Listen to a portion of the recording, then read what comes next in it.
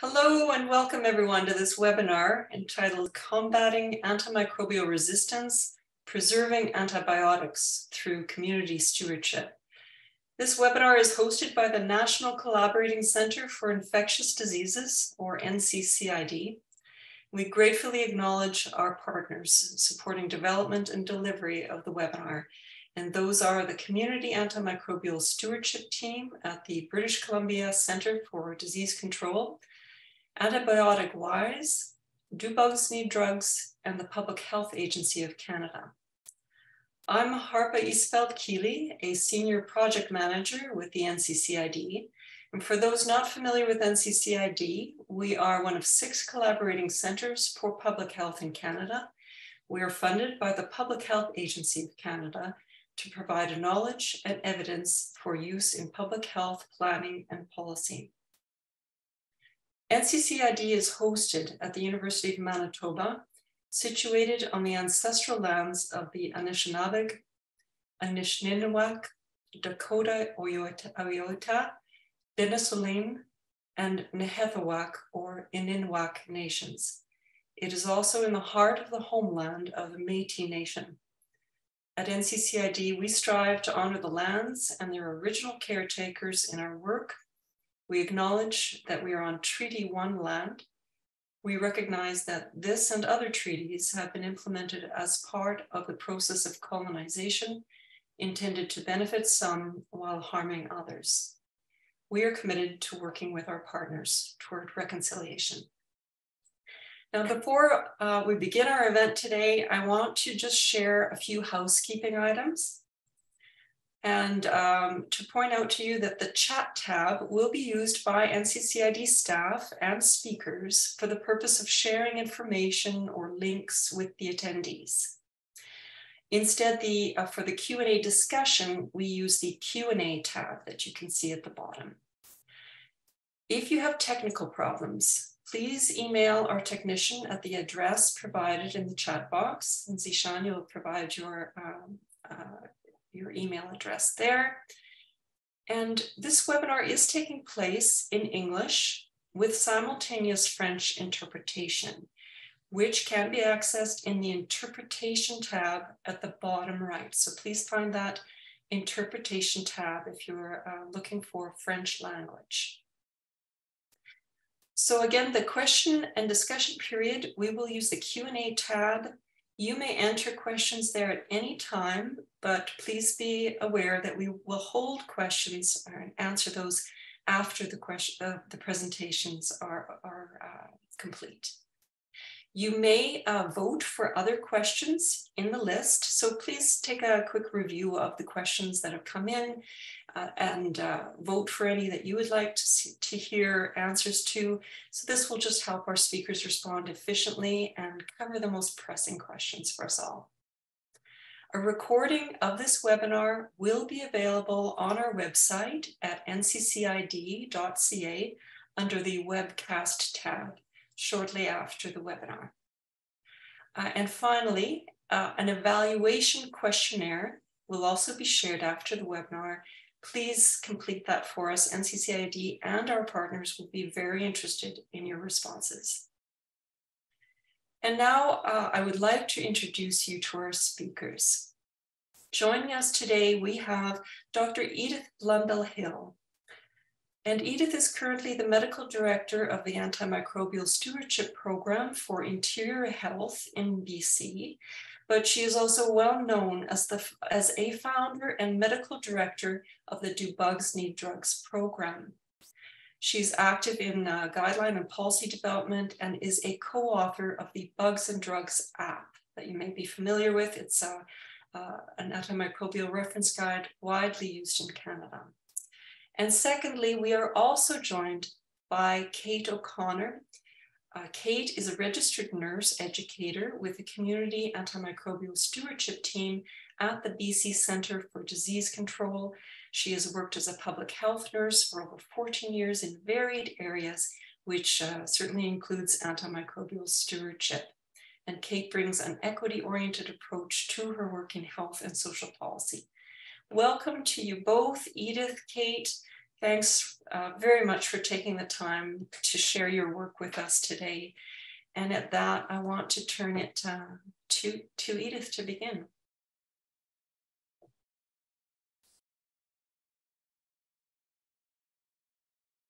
Uh, Edith, you you'll just need to unmute, unmute your line. I knew I was forgetting something. Thank you, everyone, for joining us. I uh, want to um, thank you for being interested in our program. In 1997, the WHO declared that antimicrobial resistance was a global crisis and that all nations needed to address antimicrobial stewardship. As a result, we formed a small group of healthcare professionals, pharmacists, nurses, and myself, and, and developed the Do Bugs Need Drugs program, which focused on three key messages. Uh, one, hand washing, the importance of hand washing in preventing infection, uh, that antibiotics did not work against viral illnesses, and that antibiotic resistance was truly a public health problem that all of us needed to be aware of. So, with an unrestricted grant from the Alberta Lung Association, our group went to a medium sized community in northern Alberta, Grande Prairie, and we found that with education of healthcare professionals, the public, and children, we were able to decrease antibiotic prescriptions by 12% in the winter months that we were studying compared to previous years. And so, and most importantly, we found that um, the, the value of teaching children in educating their parents. And this became, um, the child education became a major component of our program henceforth. The program then expanded to Northern Alberta and from then on was funded by Alberta Health. Um, the, um, in 2003, I moved to British Columbia and met Dr. David Patrick at BC CDC. His group had been following antibiotic prescriptions for years which is one thing we hadn't been able to do in Alberta.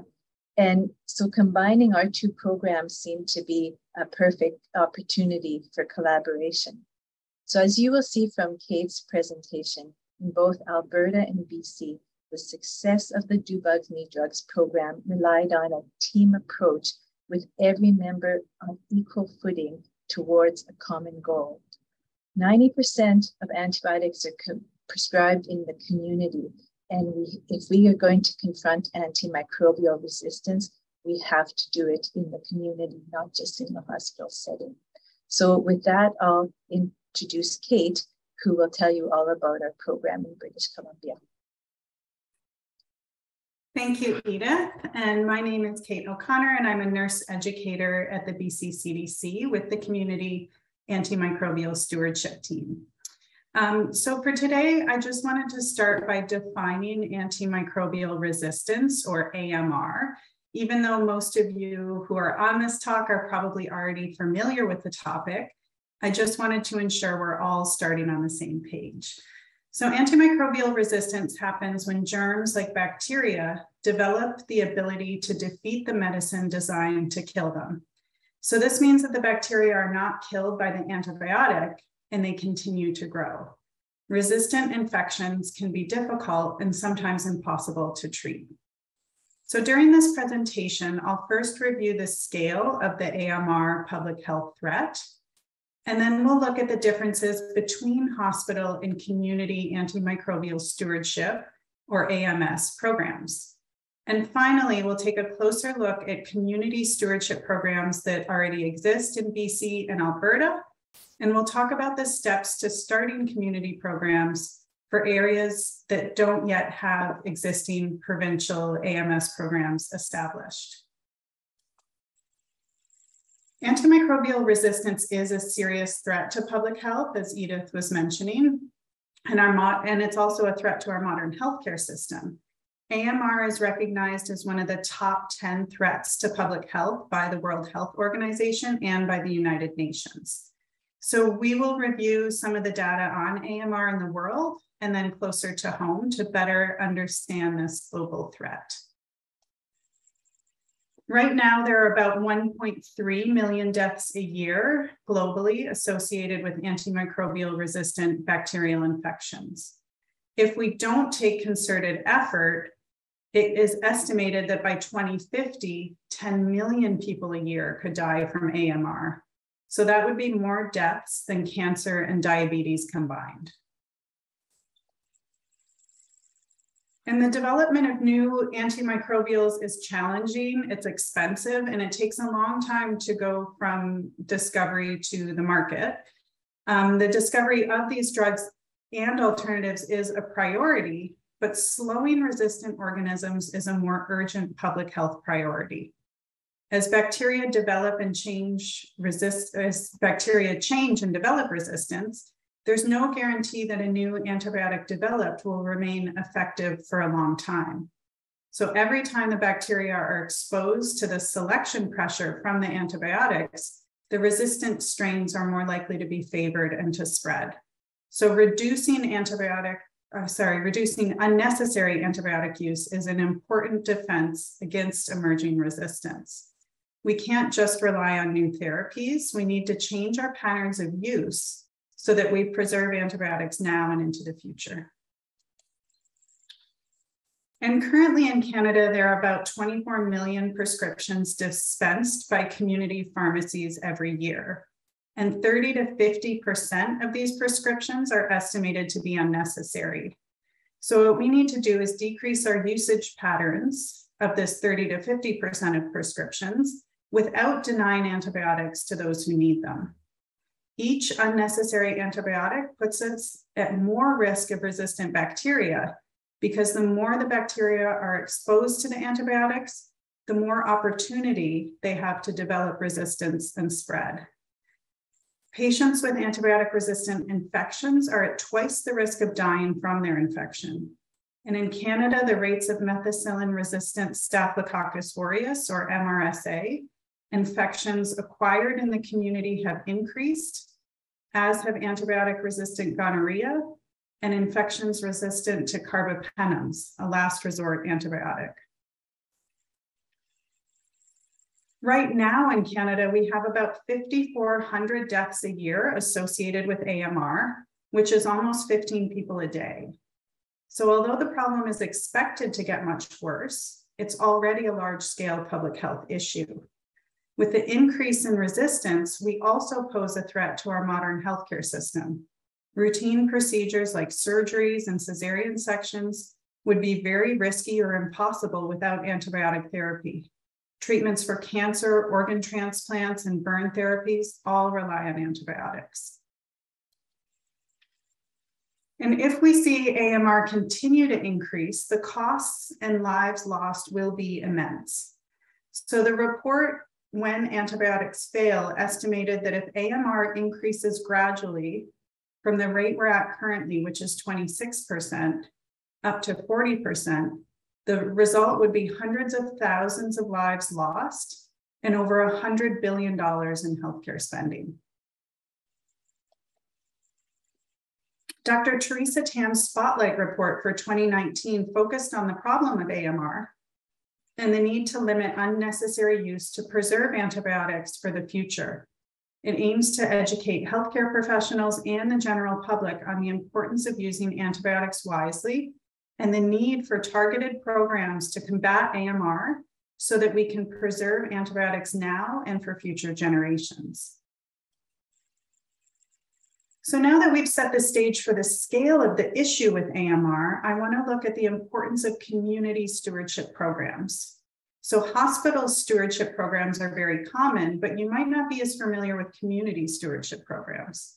So I'll start with differentiating community from hospital stewardship programs. So those familiar with the stewardship programs can see the differences.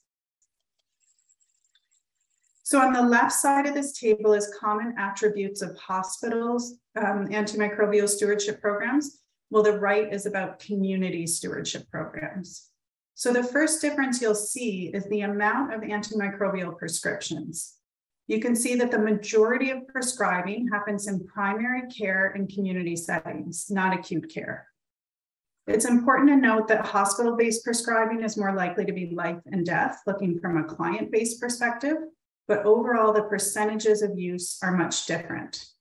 And because the bulk of prescribing happens in the community, it's a proven way to combat AMR. And the second difference you'll notice is the number of prescribers. So due to the scale of community stewardship programs, it might actually cost more to run a community program than a hospital program, but it reaches a much larger audience. So the per capita costs are actually lower. So in our experience in BC and Alberta, community programs can be delivered for between about six and 13 cents per capita. And in community settings, there's many types of prescribers when you consider GPs, um, nurse practitioners, midwives, dentists, naturopaths, and other healthcare pro professionals. And in a hospital setting, it can be easier to regulate prescriber behavior because there's oversight in place from the hospital organization, there's formal policies and feedback procedures. Um, the professional colleges of the healthcare um, practitioners in community do maintain the safety of the public in relation to the member's practice, but specific policy changes can be more challenging. However, in many cases, providing education and supports on best practice prescribing helps to change prescriber behavior over time. Um, so in the community setting, public outreach and education is core to the program. Whereas in hospital stewardship programs, um, patient education and outreach is, is less present. So this graph here is um, from the Canadian Antimicrobial Resistance Surveillance Systems Report, or the CARS report. And this report is to show the difference in the volume of antimicrobials prescribed in community settings, which are in blue, versus hospital settings, which are in red. So on the x-axis, it shows different years from 2015 to 2019. And on the y-axis um, is the uh, amount of uh, antimicrobials dispensed. So you can see the volume difference, which is what we talked about in the last table, is that um, community prescribing does make up the bulk of the antimicrobials that are dispensed. This histogram is also from the CARS report, and it shows the defined daily dose of antimicrobials per 1,000 inhabitants um, on the y-axis. And then on the axis, this on the x-axis this time, each bar is the provinces and territories. So you can see the colors in each bar are the classes of antibiotics. And the data um, from this report for BC correlates well with our program's independent analysis of community utilization in BC. So the data from these reports would support provincial community stewardship programs as it could be used to monitor the impact of interventions over multiple years. The data is from the data in this um, histogram is from hospital and community use, but because we just saw that the majority of um, the volume is from community use, the trends from large scale community changes would be apparent when you looked over successive years. So now I'll talk a little bit more about community stewardship programs that we have in BC and Alberta. And in BC, this is part of the BC Center for Disease Control. And in Alberta, it's part of the Alberta Health Services. So as Edith mentioned, the Do Bugs Need Drugs was founded um, in 1998 in Grande Prairie, Alberta. And it was a pilot project that leveraged partnerships and community champions to spread awareness of AMR. And it used health promotion to decrease sickness. The Do Bugs Need Drugs materials were created for the general public. In 1999, the Do Bugs Need Drugs program expanded to Edmonton. And in 2000, they also started programming and resources for healthcare professionals. In 2013, Do Bugs Need Drugs was incorporated into the Alberta Health Services. And Dr. David Patrick imported Do Drugs to BC in 2005 as part of the BC Centre for Disease Control. And in 2015, the program expanded to the Community Antimicrobial Stewardship Team at BC CDC. And we launched the Antibiotic Wise Public Awareness Initiative. And our community antimicrobial stewardship team has four main goals. The first goal is to decrease the overuse and misuse of antibiotics in community settings in BC. The second goal is that with the judicious use of antibiotics, there's a decrease in the existence or spread of resistant organisms because of less selection pressure on the bacteria. The decrease in unnecessary antibiotic use also decreases the unintended harms of antibiotics, such as secondary C. diff infections. And as we promote judicious antibiotic use, we also need to ensure that antibiotics are accessible when they're needed and that there are no harms associated with untreated bacterial infections. So our team has been studying this and the initial results look promising that we've not seen increases in pneumonia, sepsis, mastoiditis, complicated UTI, or other bacterial conditions that could have been missed as antibiotic use has decreased in BC over time. So we're continuing to monitor this as part of an ongoing part of our program.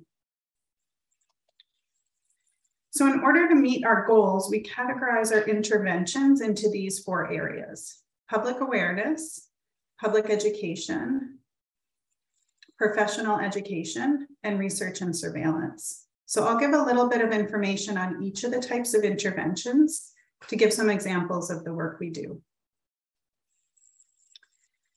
For public awareness, um, I have a few examples here up on the slide, and this is one of the main components of our program, which is outreach directly to the public.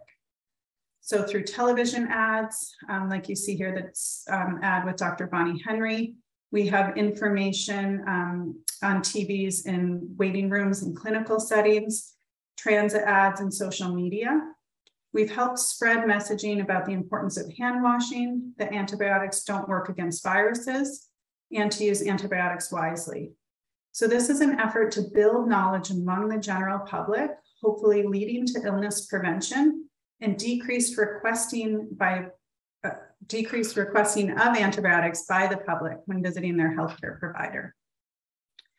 AntibioticWise.ca is our main online presence in BC for quick, simple messaging around antibiotics and antibiotic resistance for the general public.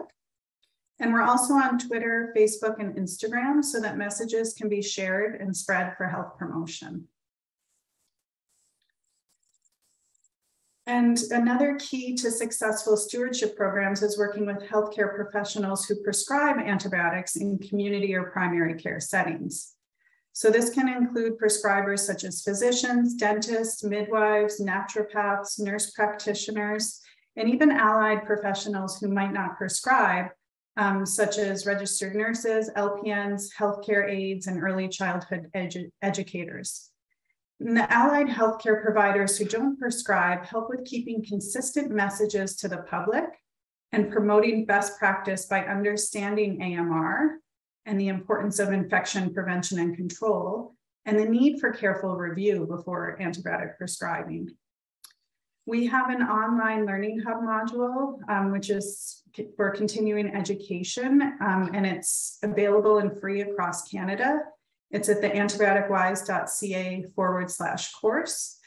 And it's targeted to family physicians, NPs, and pharmacists. And there's short modules on common infections seen in primary care settings.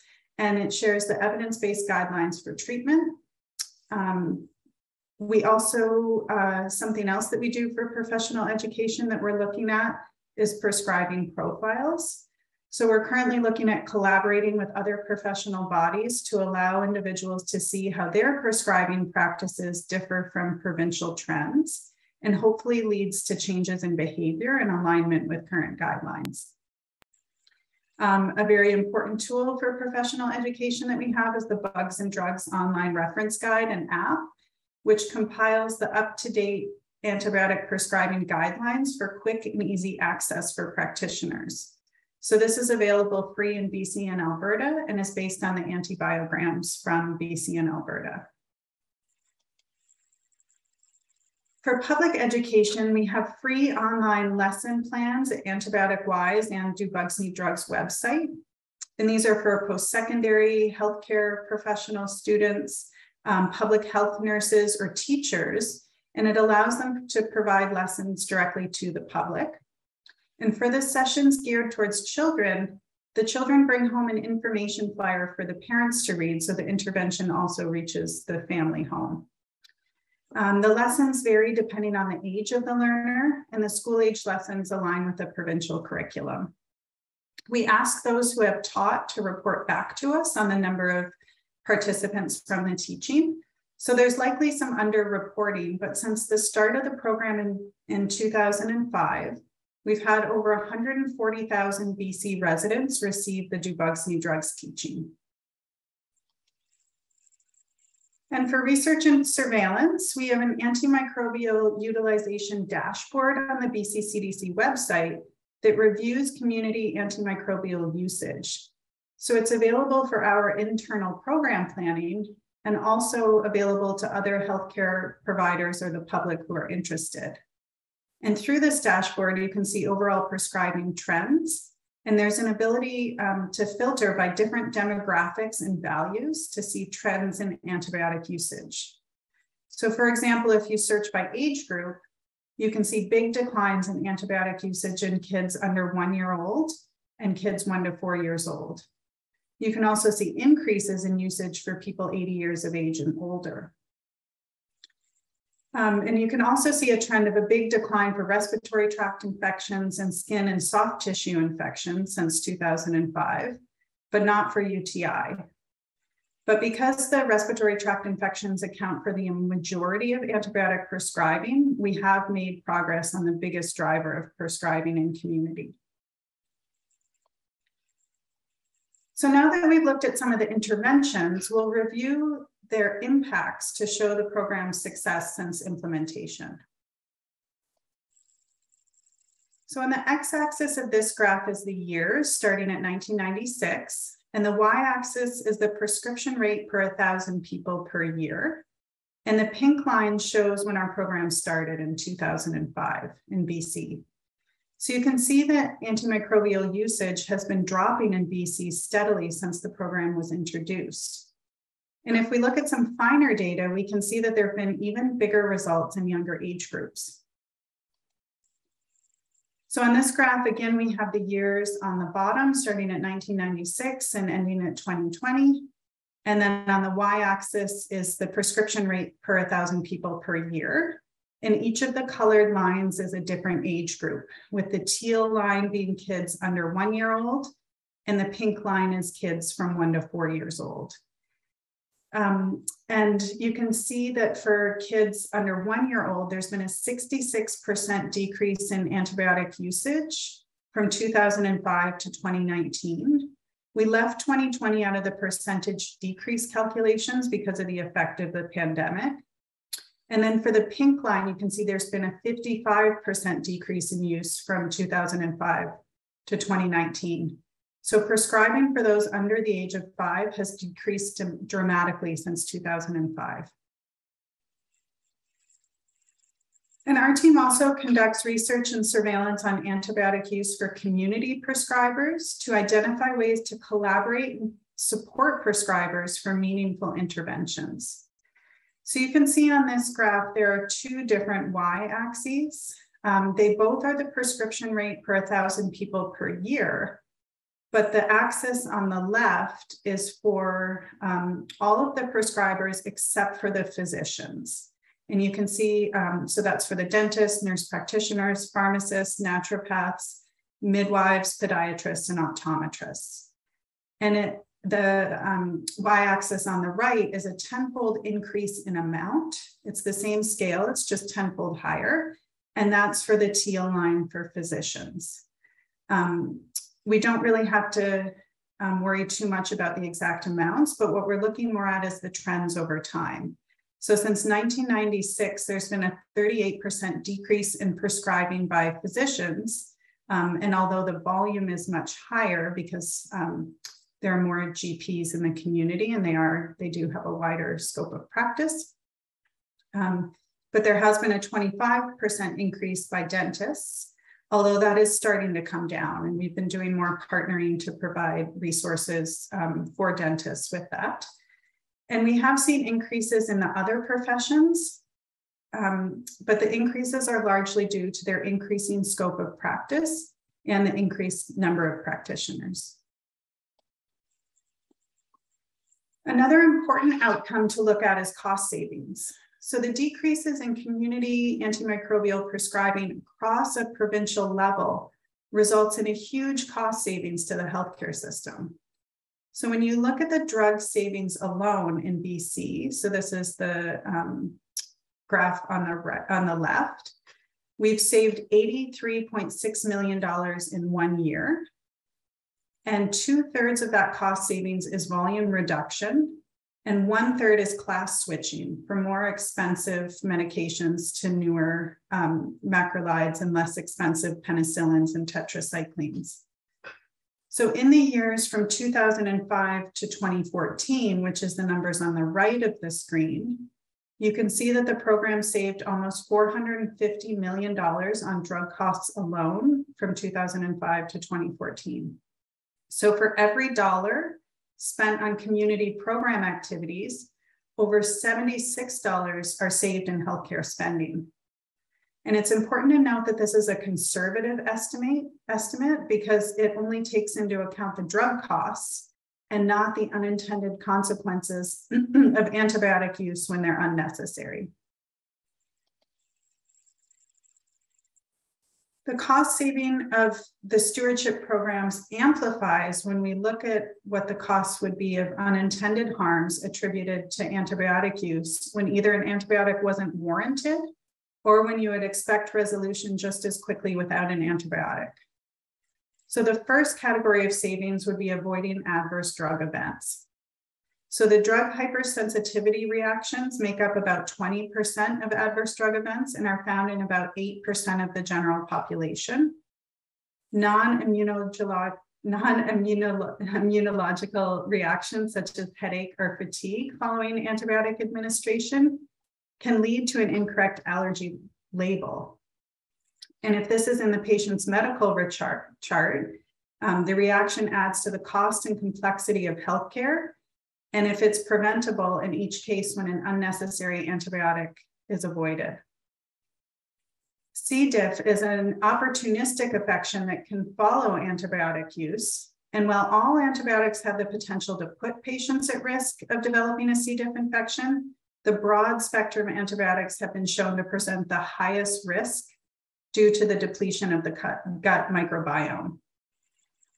Vaginal infections such as candida and bacterial vaginosis are the most common gynecological diagnoses in primary care.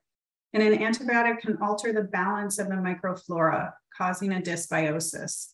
So avoiding the unnecessary antibiotic use, and when antibiotics are necessary, choosing the narrowest spectrum to clear the infection can help prevent these infections from occurring.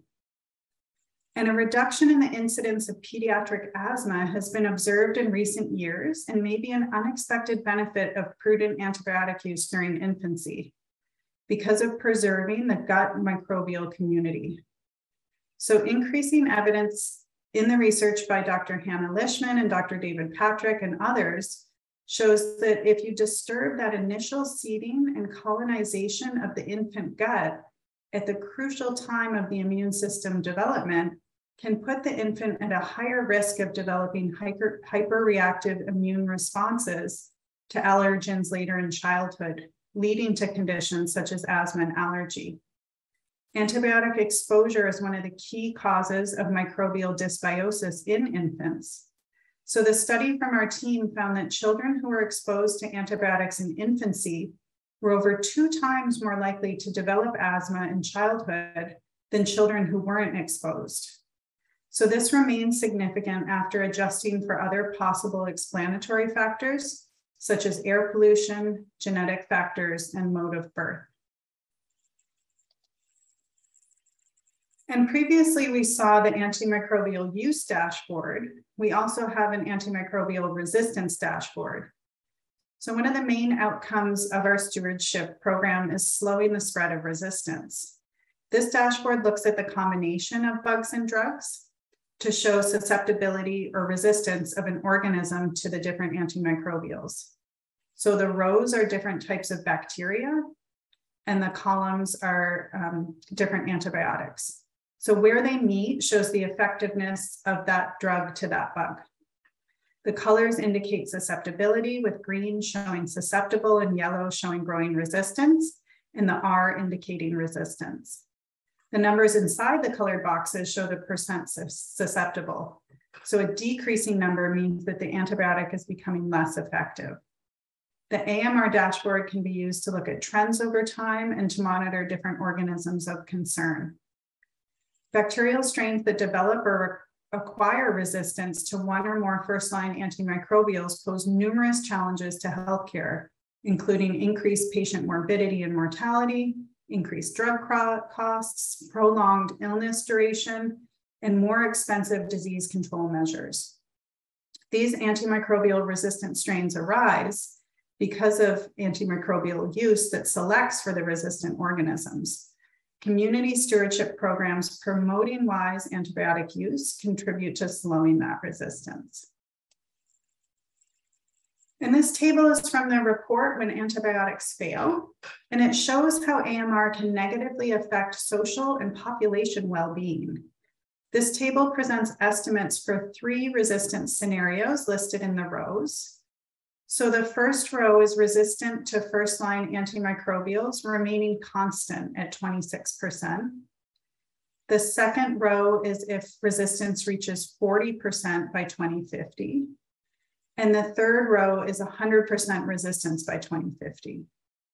And the authors of the report consider the 40% resistance scenario highly plausible, while the 100% resistance rate by 2050 represents the worst case scenario. The estimates for the column of population decline in 2050 are average annual declines in population. And the cumulative estimate in the next column is for the period of 2018 to 2050. And preventable deaths represent the number of lives that could be saved if resistance does not grow to 40% or if it does not grow to 100%. So if actions are not taken to combat the increase of AMR, Canada will be greatly changed within a few decades. The healthcare system will be less sustainable and social inequity will further increase. So now that we've reviewed the benefits of having a provincial um, antimicrobial stewardship program on an individual and public health levels, we can talk a little bit more in broader terms about some of the steps to start a community stewardship program. So this is a summary of what we're aiming to achieve. And this list can be used as a reference or tool to look at what strengths and opportunities there are, as well as what areas there are to develop. So for governance, we already have a national action plan and practice level policies in Canada. And if we skip down to prescribing guidelines, these also already exist in many areas, such as the Orange Book in Ontario. And if we look further down at research, we've covered how surveillance on antimicrobial usage is also done on a federal level for the provinces with the CARSS report. So areas to start developing could include the categories of education, monitoring, and engagement. And a good first step could be engaging with prescribers and local stakeholders to determine the best methods of health promotion and education to prescribers and the public. These areas can be more developed um, over time as programs evolve and grow. And these are some suggested resources for a community antimicrobial stewardship program. And although they don't have to all be present at the start of the program, this could help as an aim for what to work towards. So we have a part-time physician lead with possibly an infectious disease background, um, program project management, an educator, epidemiologist or analyst for tracking trends and appropriateness of prescribing, um, and access to management and communication resources, which can sometimes be from the host organization. Um, it's important to have a guidelines coordinator, which would possibly be a, a pharmacist, and an advisory group on guidelines, which could be done with volunteer time from committed practitioners. And our team at the BCCDC works so well as we have many different disciplines represented who all play an integral role and have expertise in different areas. When we do our work, we're able to find champions in different parts of healthcare to help make necessary changes. And both the Alberta and BC programs started by leveraging community champions and using existing infrastructure where available to embed the community stewardship into existing public health programming. So it can be beneficial to look for solutions within your province, for example, by collaborating with post-secondary institutions or possibly public health nurses who already work in schools or community settings, possibly primary care clinics. So these could be important first steps to creating larger programs over time. It's also important to differentiate between a campaign and a program. It takes a lot of time to see the results and interventions, so single campaigns are not nearly as effective as programs that run over successive years. Building a program enables trends to lower over time and real progress can be made towards combating antimicrobial resistance. So I wanted to highlight that there are lesson plans and public and prescriber handouts and education materials on the Antibiotic Wise and Do Bugs Need Drugs websites that could be adapted for local use. The Public Health Agency of Canada email above is for the AMR task force team, and they can direct you, direct you to potential local resources or information from the CARSS report for your jurisdiction. Community antimicrobial stewardship programs help to target one of the most pressing global public health threats, Efforts to reduce unnecessary antibiotic prescribing reduce the threat from emergent resistant organisms and the adverse effects from unnecessary drug exposure. And while most of the conversation on stewardship focuses on hospital and agricultural use, 80 to 90% of human antibiotic use occurs in the community. Programs that focus on both the prescriber guidance and public education in the community have been shown to successfully reduce antibiotic use at the population level. Community antibiotic stewardship programs are cost saving, even when you consider drug costs alone. And there is growing evidence that reducing antibiotic use, especially in infancy, may significantly reduce the incidence of childhood asthma, so cost savings alongside improved health outcomes make community stewardship programs a necessary investment. Provincial health systems would save costs and lives and decrease social inequities by instituting antibiotic stewardship efforts in the community. So I wanted to acknowledge the other members of our team who do amazing work on research, surveillance, analysis, leadership, and knowledge translation. And we also partner with experts from other disciplines such as pharmacy and dental for their knowledge and expertise. I also just wanted to acknowledge that this funding was made possible through the Public Health Agency of Canada and to thank the National Collaborating Center for Infectious, Infectious Diseases for hosting the webinar and for translation and interpretation services. Um, the list of references is here. It's very small, um, but it will be on the PDF that is emailed out if you um, would like to look at any of the references. And we're happy to take questions either for me, um, Dr. Edith Blondel-Hill, or our BC Program Manager, Nick Smith. Thank you. Thank you, Kate. And I see Nick has joined us as well. Uh, hi, Nick, uh, helping answer questions as well.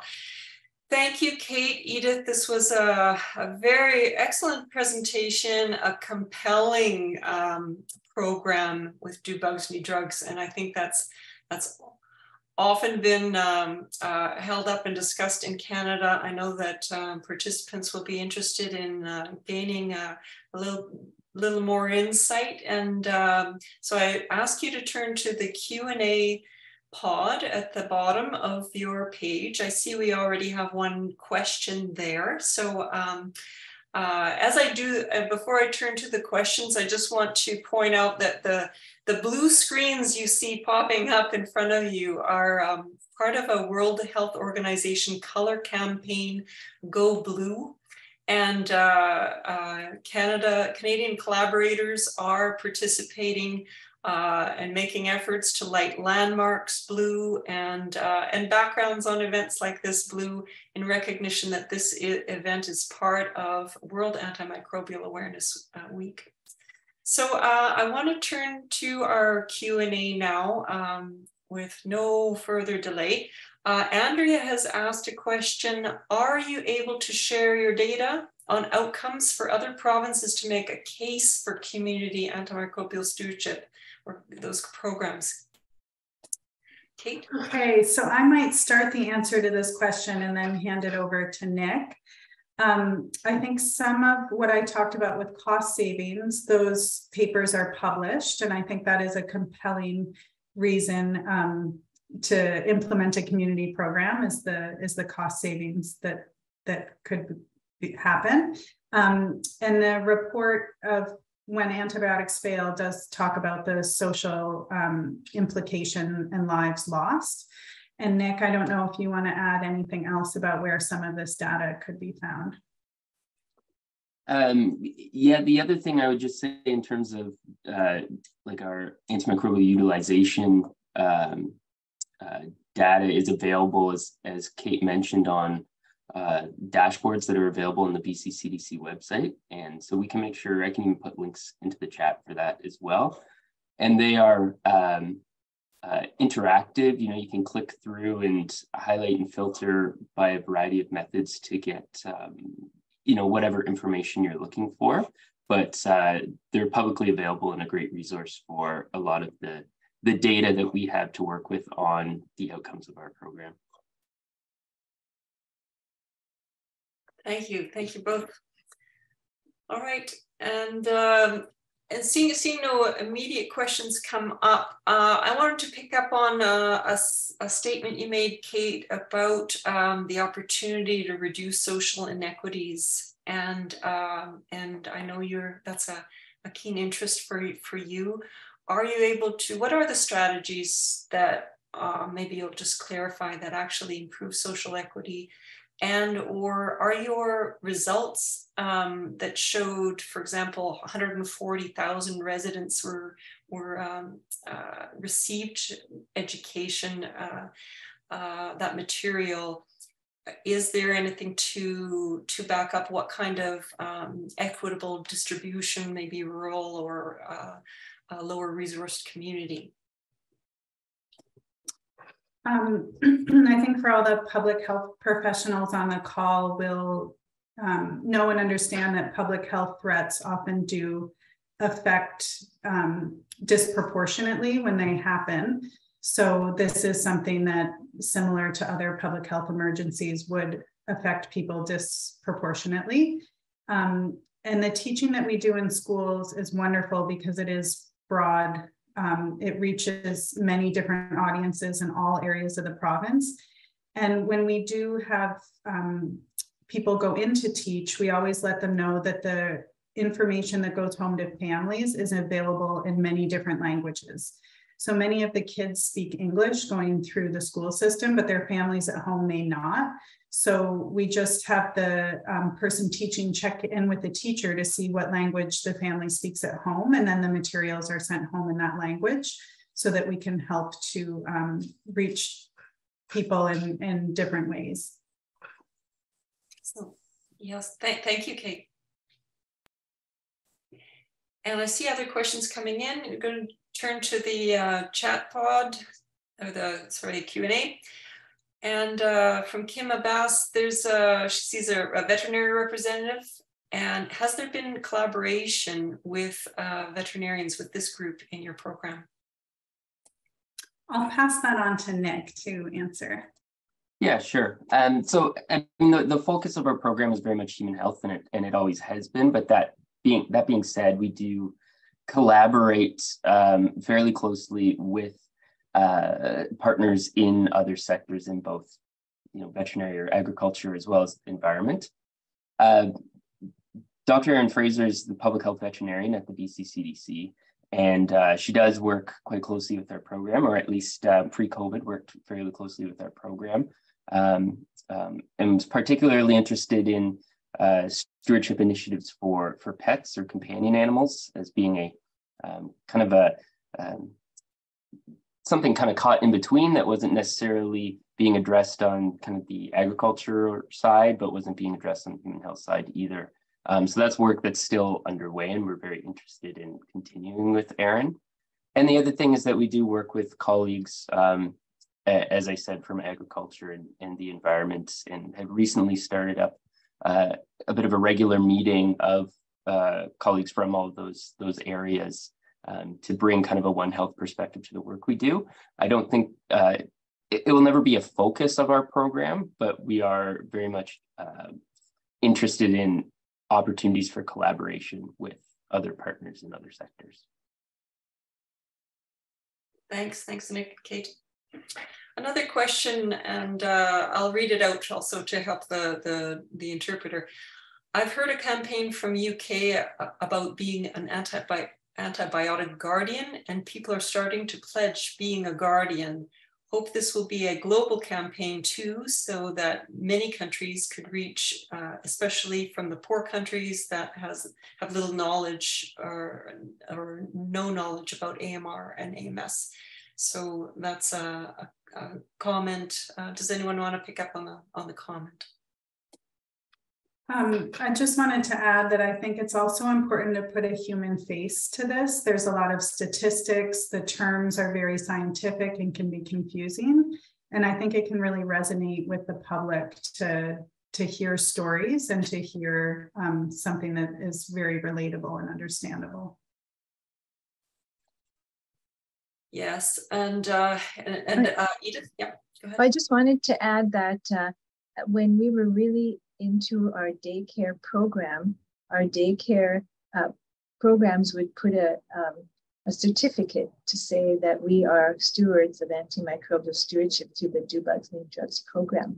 And so that, that in a way is a bit of an antimicrobial guardian, anti-stewardship guardian as well. So I think the more the public recognizes the messages of the program, the more they uh, they will be attuned to um, organizations that promote it, promote antimicrobial stewardship. And, um, and when we started the program, it was quite interesting to see how many um, doctors mentioned that um, instead of coming to ask for an antibiotic, patients were coming to say, I want to make sure I don't need an antibiotic. So it's a whole mind change that has to occur in a population, but it is doable. Thanks, Edith. Yes, so having a, a, pledge is one thing, and having it uh, actually uh, facing the public and also behind your prescriber in the clinic, um, really making that, connecting that message at the at the interface with with people, with uh, with patients.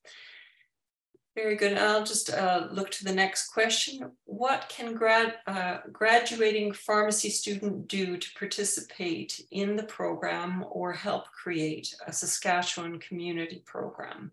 Maybe a, a tough question for you to answer, and, and yet starting off from, from uh, the front lines in pharmacy, what can, what can you share uh, as encouragement for a Saskatchewan pharmacist? I'm, I'm glad there's interest. That is certainly the, the points, I think, of this webinar was to create some um, excitement around community stewardship in other jurisdictions.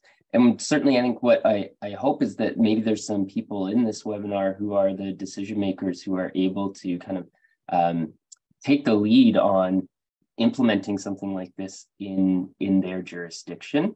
So for a, a graduating pharmacy student, I would just say, be in touch with the powers that be, keep advocating for such a program, and um, and hopefully we can start to see these things grow across the country. Edith? Um, pharmacists are having an expanded role in many parts of Canada, including in prescribing. And pharmacists have actually been shown to be more guideline focused than even physicians. So I think pharmacists have a huge opportunity to be leaders in uh, antimicrobial stewardship, both at the community and the hospital level. So uh, I think that um, to get involved, as Nick says, to be aware of the references that are available, to to um, it's not just the Do Bugs Need Drugs program. Uh, nationally, we started a symptom-free Pee. Let It Be campaign to address asymptomatic bacteriuria. So very often, patients seek pharmacists as their first line healthcare workers, and that's going to be even more as, as we uh, have uh, more restrictions in healthcare. So, so I think that um, the program is perfect for pharmacists, and I think that they will continue to play a huge role in um, antimicrobial stewardship in the future. Thank you, Edith. Uh, moving to Yvonne's question, do you have a connection to health science programs? Uh, I think we need to make students, medicine, pharmacy, dentistry, etc., aware before they graduate from their programs. Do you see a role for students doing the doing the education in uh, in schools, for example? So, Kate. Yeah. So that is one of the main parts of my job is um, educating healthcare professionals in post-secondary schools. Um, and then they go out and teach the do bugs need drugs in um, elementary schools. So they get the education before they graduate, which is a time when they can really absorb and learn and have that capacity. And then they go out and teach. Um, so the children get healthy habits starting at a young age. And then the kids bring home the information to their families. So it's really this trifold um, benefit when I teach one group of healthcare professionals. Um, and I would say it's not just prescribers too, teaching the daycare workers, teaching healthcare aides so that all of our healthcare partners are on the same page, I think is really important.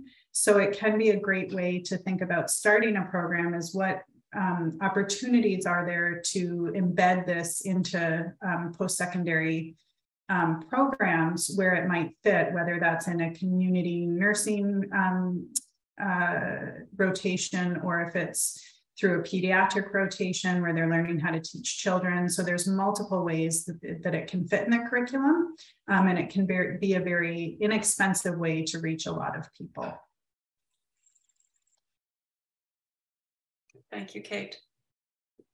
Just bringing in another question as we wait for uh, any additional questions in the Q&A. Where does antibiotic resistance usually fit in the nursing curriculum? Have, have you touched on that, Kate? Yeah, so there are a few areas where it can fit, like I talked about through a community um, rotation.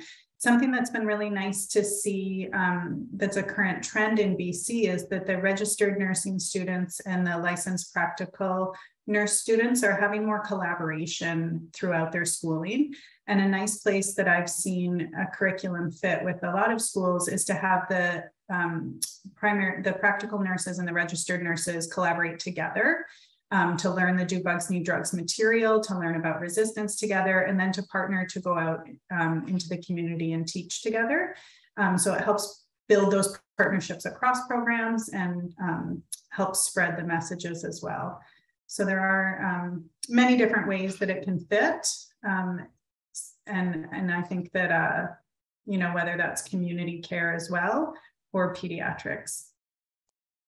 Okay, thank you. And just seeing that we have a couple of minutes only left, uh, I'm going to squeeze in this uh, a good question on a small budget. On a small budget, how would you start a program? That's where Kate, can you uh, tackle that one enough? Yeah, um, Edith, I don't know if you would like to do this question, or I can, having had experience starting a program. Sure. Well, I think you need to find passionate people, and those are not that hard to find. And I, I think how we started with uh, pharmacists and nurses was, and, and all of it was um, really voluntary through where they were working.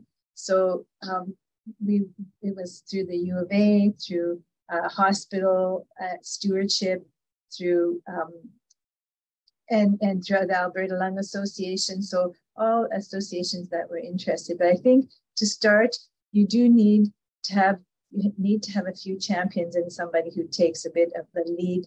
Um, but but I think if you have a nurse educator, that that's our you know the biggest bang for your buck, I think, because you, as, as Kate showed, you can, uh, we, in Alberta, we had a really good program where all healthcare disciplines got together for 36 hours to learn about each other's profession. And they, uh, we used six hours of that time, three hours to teach them, three hours to go out and teach children. So it, it, it didn't cost very much, and we were able to exponentially uh, teach that way. So I would say a nurse educator is absolutely uh, important. And I think uh, a physician who is a champion to um, have some credibility with um, other physicians um, in, in um, teaching them about better antimicrobial stewardship, duration of therapy, etc.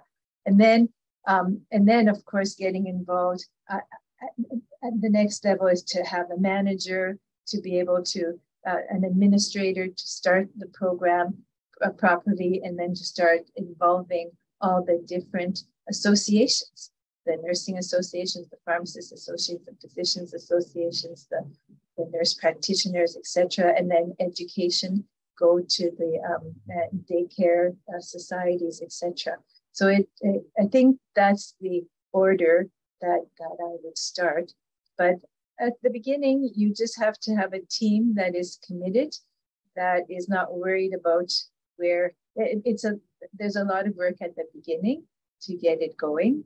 But um, if everyone's on an equal footing, you can achieve a lot, I think.